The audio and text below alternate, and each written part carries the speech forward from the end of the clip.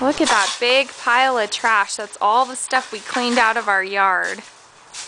We've been avoiding, so far, yeah. We've been avoiding showing our yard because it's a mess. But now that we've started, we decided we needed before pictures. So now you can see. We've already done a ton of work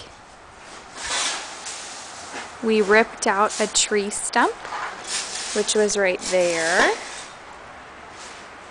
And we also ripped out a second tree, but left the stump. We have to rip it out. But there's still a lot of work to do.